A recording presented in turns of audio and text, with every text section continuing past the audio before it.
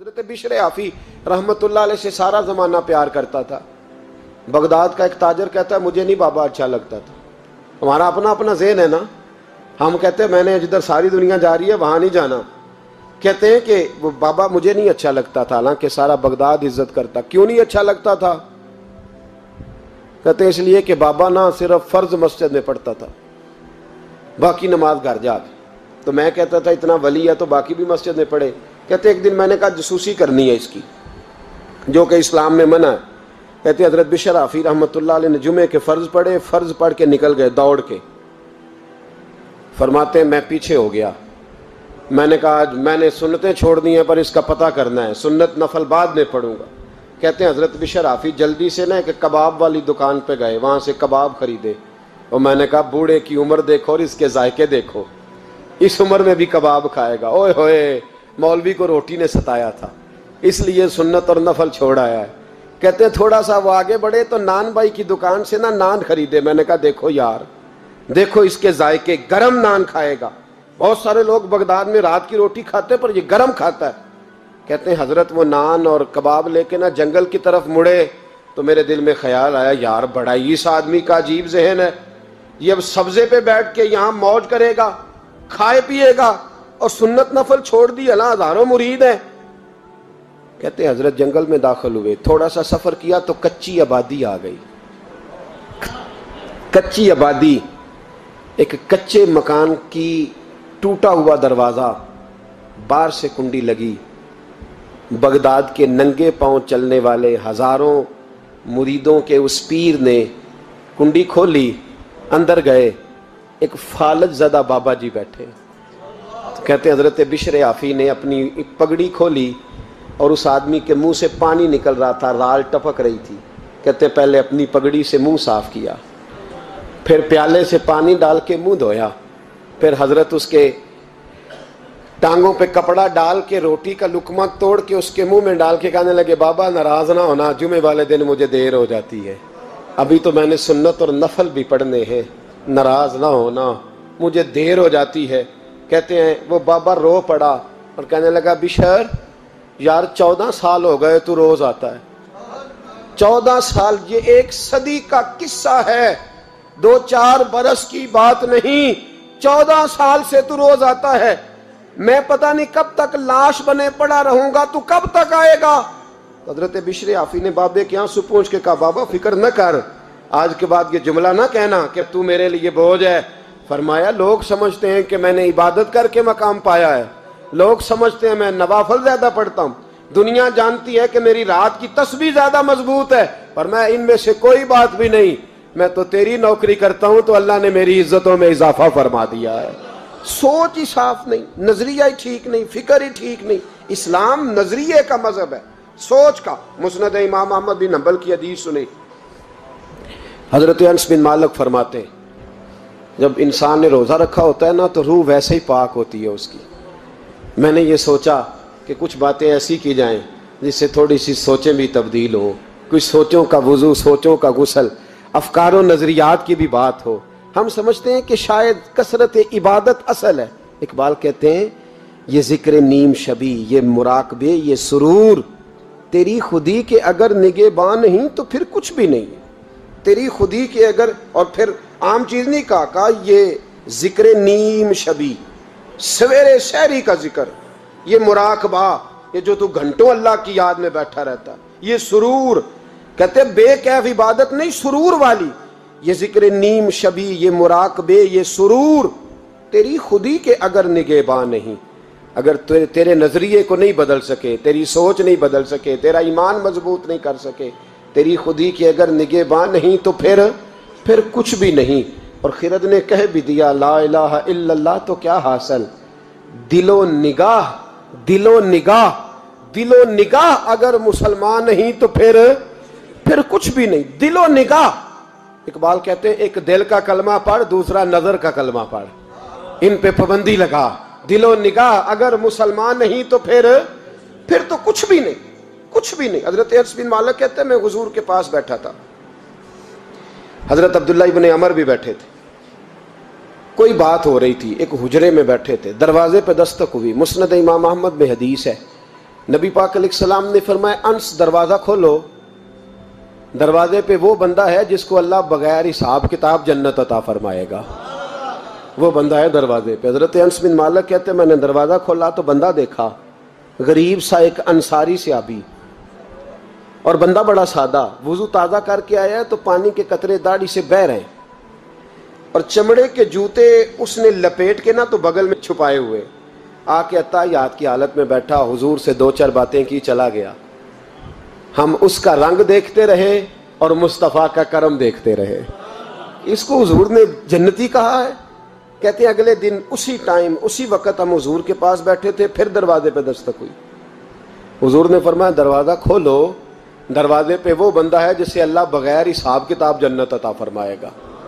बगैर हिसाब, कहते हैं, दरवाज़ा खोला। और जैसे ही मेरी नज़र पड़ी, बंदा भी वही है जो कल आया था। और अंदाज भी वही है जो कल था। उसी तरह पानी के कतरे, उसी तरह जूते बगल में। असलकुम कल हजूर फलाम बात की तफसील पूछनी मुझसे रह गई थी, गलती होगी, दोबारा आया हो। उसने अपनी गुफ्तगु की चंद जुमलों में बात समेटी, चला गया। फरमाते इत्तेफाक की बात के दिन तीसरा।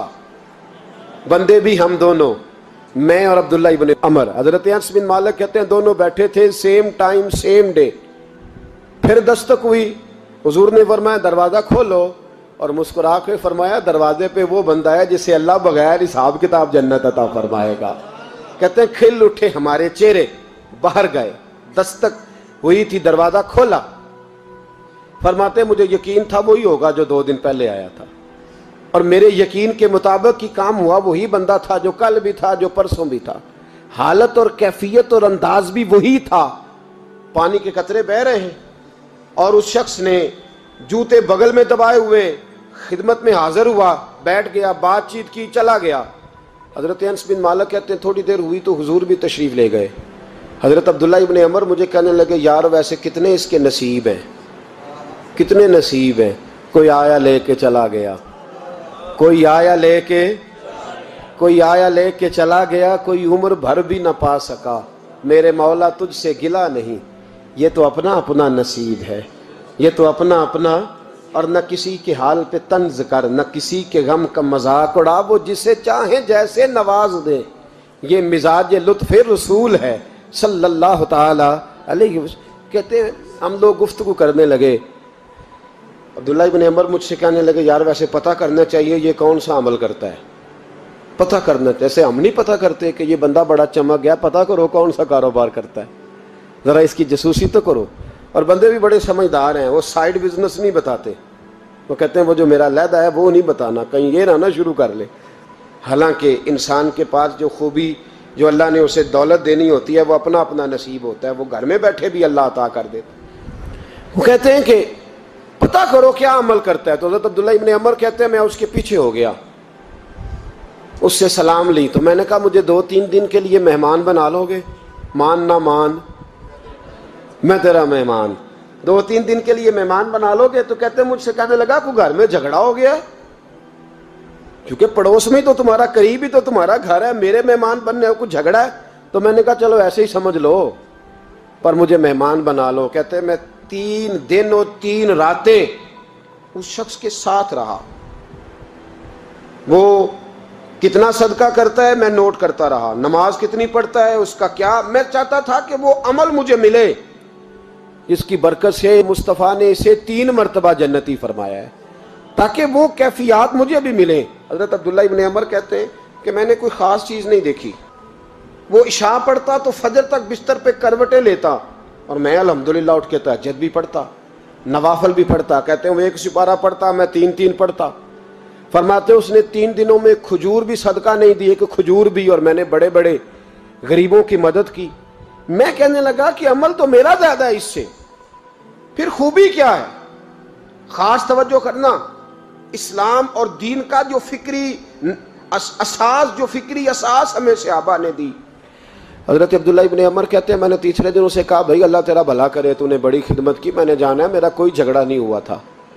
मैं तो बस तेरा अमल देखने आया था कि तू अमल क्या करता है।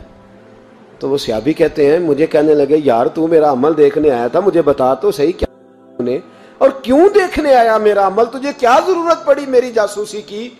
तो कहते हैं, मुझसे जब उसने सवाल किया तो मैंने उसको कहा, भाई, तू तीन दिन आया ना, हम बैठे हुए थे। कहा हाँ मैं आता रहा हूँ। कहा, तीनों दिन नबी पाक ने फरमाया, अल्लाह तुझे बगैर ही साहब किताब जन्नत अता फरमाएगा। तो मैं चाहता था कि मैं जरा जासूसी करूँ, जरा देखूँ, खोज लगाऊँ। कौन सा ऐसा अमल है? आप भी जरा ध्यान दीजिएगा। कौन सा ऐसा अमल है? हालाँकि तू शाह पढ़ता है और उठ के फजर पढ़ता है, मैं ताजिद भी पढ़ता हूँ। तेरा सिपारा एक है, मेरे तीन है। कौन सा ऐसा अमल है जिसके सबब तुझे जन्नत मिलेगी? तो कहते हैं, वो सियाबी कहने लगे, यार कोई ऐसा अमल नहीं। कोई शय नहीं। मैं इस काबल ही नहीं। मन नानम के मन दानम। जो मैं हूँ, मुझे पता है। का फिर कोई बात तो होगी, तेरी मेहरबानी बता दे। मैंने तीन दिन, तीन रातें मेहनत की है, बता दे। कहते वो कहने लगे, अगर तुझे बताऊँ ना तो फिर सुन। मैं जब रात को सोता हूँ तो अपने दिल पे नज़र डालता हूँ। और सवेरे जब उठता हूँ तो फिर अपने दिल पे नज़र डालता हूँ। मोबाइल पे नहीं, कुंजी पे नहीं कि चाबियाँ किधर हैं? बटवे पे नहीं, मैं रात को सोते हुए भी अपने दिल पे नज़र डालता हूँ। सवेरे उठते हुए भी मैं सबसे पहले अपने दिल पे दिल पे नज़र डालता हूँ। फरमाते हैं, अल्हम्दुलिल्लाह, मेरे दिल में किसी का हसद नहीं है। किसी के बारे में कोई कीना नहीं है। कोई किसी के बारे में मैल नहीं। मैं अल्लाह के हर बंदे के बारे में सोच, नज़रिया, फ़िक्र अच्छी रखता हूँ। और फरमाया, मैं तेरे बारे में भी अब्दुल्ला यही सोचता हूँ कि तू मुझसे ज़्यादा नेक है। अल्हम्दुलिल्लाह, इस वक्त भी मेरा जेन ये है कि अंश बिन मालक मुझसे ज़्यादा परहेजगार है। इस वक्त भी मेरी सोच ये है कि महबूब के सबसे आबा, में सबसे कमज़ोर मैं ही हूँ। नब्द अब्दुल्ला इबन अमर कहते हैं, मैंने उसका हाथ चूमा। मैंने कहा, समझ आ गई है। तेरा नज़रिया, तेरी सोच पक्की और सच्ची मुसलमान है। तू दिल और रूह का मुसलमान है। तू नज़र और रूह का मुसलमान है। ये सबब है कि अल्लाह के रसूल ने ज़मीन पर चलते हुए भी तुझे तीन दफ़ा जन्नत की बिशारत अता फरमा दी।